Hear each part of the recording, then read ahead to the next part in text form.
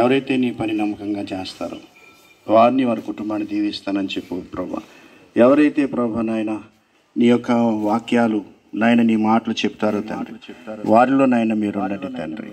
అలాగే నాయన వినగల చెవి గ్రహించుకున్న ఆత్మను దయచేయండి. ప్రతి ఒక్కరూ కూడా నాయన మారు మనసును నడిపించండి పరలోకానికి నాయన ప్రతి ఒక్కరిని తయారు చేసే భాగ్యాన్ని మీరు మాకు ఇచ్చారు తండ్రి. అయ్యా మమ్మల్ని మీరు మరుగు చేసుకుని ఎక్కడ ఇబ్బందులు ఏమి లేకుండా నీవే నాయన మాతో అందరితో కూడా మీరు మాట్లాడమని యేసు పరిశుద్ధ నామలు ప్రార్థిస్తున్నాను పరమ తండ్రి. ఆమెన్.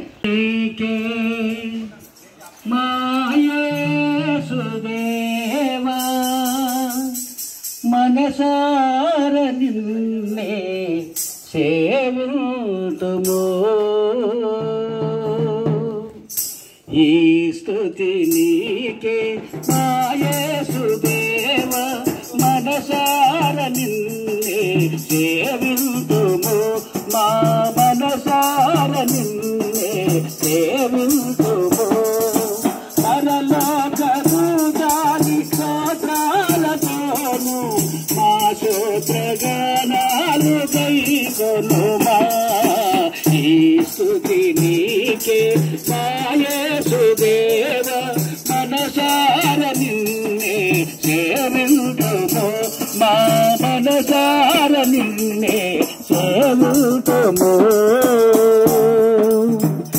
బ్రతికి పునాది నీవని. నాలో నీవు పిరి నీవేనని జగతికి పునాది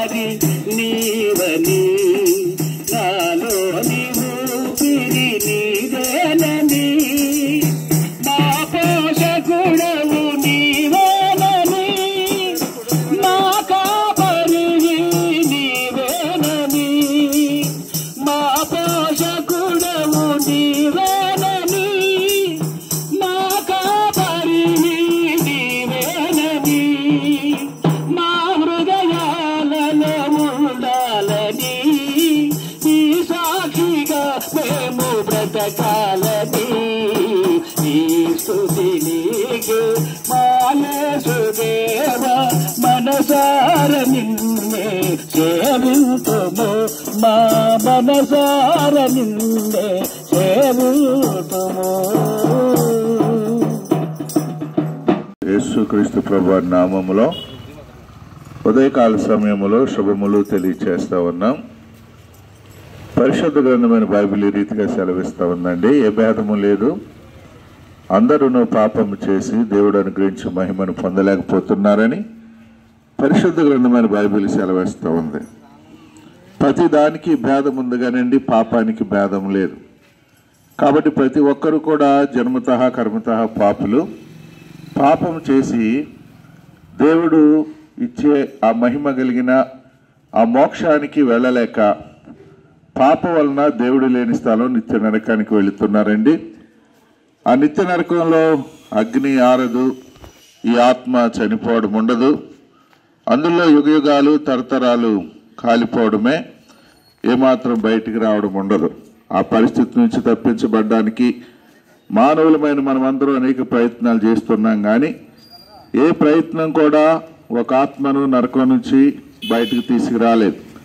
అది గమనించిన దేవాది దేవుడు తన బిడ్డలైన వారి నరకానికి వెళ్ళడం అందులో కాలిపోవడం ఆయన దూరంగా ఉండడం ఇష్టం లేక అందరినీ నరకం నుండి తప్పించి రక్షించి ఆయనకి సమీపస్తులుగా చేసి నిత్యము ఆయనతో సంతోషంగా ఆనందంగా ఉంచుకుంటూ కొరకు ఆయన ఆ పరలోకాన్ని నుంచి ఈ లోకానికి వచ్చి మానవుల పాప పరిహారార్థమై సిలువ యాగం చేసి అనగా మానవుడి తలమొదలకు నరికాల వరకు చేసిన పాపం నుండి విడిపించడానికి పరిశుద్ధమైన రక్తాన్ని కార్చారు. ఎందుకనగా రక్తం చిందింపకుండా పాప క్షమాపణ కలగదు కాబట్టి జంతువుల యొక్క మేకల యొక్క కోడేల యొక్క రక్తం పాపలు తీసివేయటం అసాధ్యం కాబట్టి పాపం లేని పరిశుద్ధుడైన మానవుని రక్తం కావాలి కాబట్టి ఈ లోకంలో పాపం లేని పరిశుద్ధులైన మానవులు ఎవ్వరూ లేరు కాబట్టి పాపం లేని పరిశుద్ధుడైన మానవుడుగా రెండు వేల ఇరవై మూడు సంవత్సరాల క్రితం సాక్షాత్తు దేవుడు యేసు అను పేరుతో ఈ లోకానికి వచ్చి మానవుల పాప పరిహారార్థమై సెలవు యాగం చేసి రక్తం కాచి ప్రాణం పెట్టి మూడో దినాన్ని తిరిగి లేచాడండి. తన నమ్మిన బిడలకు పరలోకంలో స్థలాలు సిద్ధపాటు చేస్తూ ఉన్నాడు. అదిగో వారిని తీసుకెళ్ళడానికి త్వరగా రాబోతున్నారు. నమ్మని వారికి శిక్ష విధించి నిత్య నరకానికి పంపనై ఉన్నారు. కాబట్టి ఇది మిక్కిలు అనుకూల సమయం. యేసుక్రీస్తు ప్రభు నేను పాపిని మీరు సిలువలో కార్చిన రక్తంతో నా పాపాలు కడుగు నన్ను మీ బిడ్డగా స్వీకరించు నాకు మోక్ష రాజ్యం దయచేయంటే చాలండి. ఏ కష్టం లేదండి ఖర్చు లేదండి ఏ ఇబ్బంది లేదండి. వెంటనే యేసుదేవుడు ప్రతి పాపాన్ని కూడా సిలువలో కాల్చి రక్తంతో కడుగుతాడు తన బిడ్డలుగా స్వీకరిస్తాడు. మోక్ష రాజ్యాన్ని ఇస్తాడు నిత్య శాంతి సమాధానం నెమ్మదిస్తాడు నిత్య నరకం నుండి తప్పిస్తాడు. యేసుక్రీస్తు ప్రభు అటువంటి మోక్షాన్ని మీ అందరికి దయచేసి మీ అందరి జీవితాల్లో సంతోషం ఆనందం సమాధానం నెమ్మది కొలుగు చేయను గాక. మీ కొలుగు చిన్న నే స్తుతించి ఆత్మలో ధ్యానించి తాళాలే మ్రోగించి సంతోషం పొంగించి రక్తదారలు నాకై కార్చనే హల్లెలూయా.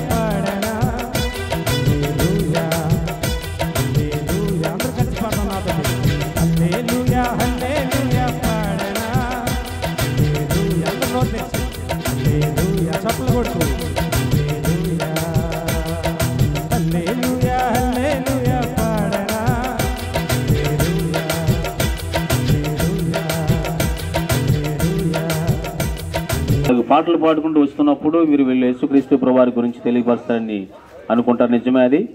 ఎందుకంటే ప్రభు యేసుక్రీస్తు వారు మానవులు ఉద్దేశించి చెప్పినటువంటి ఒక మాటను ఈ ఉదయకాల సమయంలో మీకు చెప్పడానికి మేము ఎంతో సిద్ధపడ సంతోషిస్తున్నాం. ఆ మాట ఏంటంటే ప్రయాసపడి భారం మోసుకుంటుండే సమస్తమైన ప్రజలారా నా దగ్గరికి రండి. నేను మీ ప్రాణాలకు విశ్రాంతి తెస్తానని జగద్రక్షణ యేసుక్రీస్తు ప్రభు వారు ఈ మాటను తెలియపరుచున్నారు ఎందుకంటే నేటి సమాజంలో మానవుడికి సమస్తమును కూడా సమృద్ధిగా ఉన్నప్పటికీ ప్రశాంతత లేక నెమ్మది లేక సమాధానం లేక మనసుకు శాంతి లేక మానవుడు జీవిస్తున్నాడు. ఆ జీవితాన్ని కొనసాగించలేక ఒకసారి తన ప్రాణాన్ని తాను తీసుకుంటున్న పరిస్థితిలో మానవుడు ఉన్నాడు. అటు మానవునికి నెమ్మది ఎక్కడ దొరుకుతుంది? సమాధానం ఎక్కడ దొరుకుతుంది? ప్రశాంతత ఎక్కడ దొరుకుతుందని ఆలోచన చేసినప్పుడు అది కేవలం యేసుక్రీస్తు ప్రభువారిలో ఉందని మేము విశ్వసించి ఉన్నాం. ఎందుకంటే యేసుక్రీస్తు ప్రభువారి చెప్పినట్టు నాకు మాటను ఈ ఉదయకాల సమయంలో మీకు తెలియపరచడానికి మేము ఎంతో సంతోషపడుతున్నాం. అదేంటంటే ప్రయాసపడి భారం మోసుకుంటుండే సమస్తమైన ప్రజలారా నా దగ్గరకు రండి. వచ్చినట్లయితే నేను మీ ప్రాణాలకు విశ్రాంతి ఇస్తానని ప్రభ యేసుక్రీస్తు వారే స్వయంగా రెండు చేతులు చూపి ఆయన ఆహ్వానిస్తున్నాడు.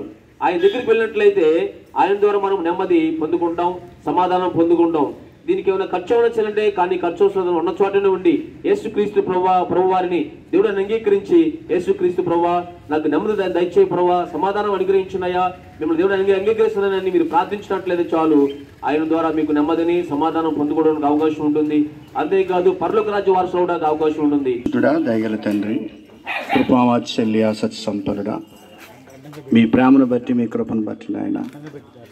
ఈరోజు నాయన మరి సుబ్బారావుపేట నాయన పరిసర ప్రాంతంలో నాయన నీ శుభవర్తమానం నాయన చేయడానికి మీ యొక్క దైవ దాసులను మీరు పంపించిన ఆయన ప్రభా కొంచెం నాయన ప్రభా శాతాను ఒత్తిడితో నాయన కొంచెం కన్ఫ్యూజ్ అయినప్పటికీ కూడా కంగారు లేకుండా నాయన ప్రభా మమ్మల్ని అందరి నాయన చేయవలసిన నాయన వీధిలో ప్రభా నాయన తండ్రి అనేక మంది నాయన మాటలు విన్నారు.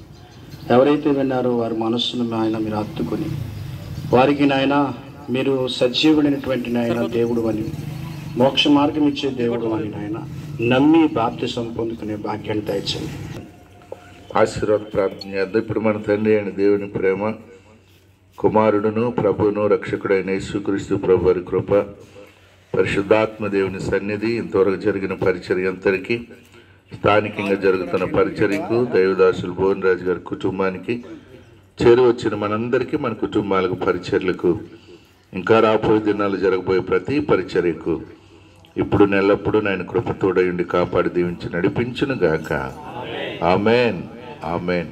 ఆమెన్. బులో యేసుక్రీస్తు మహారాజుకి త్వరగా రానున్న ఏసైకి రాజు రాజు అయిన ఏసైకి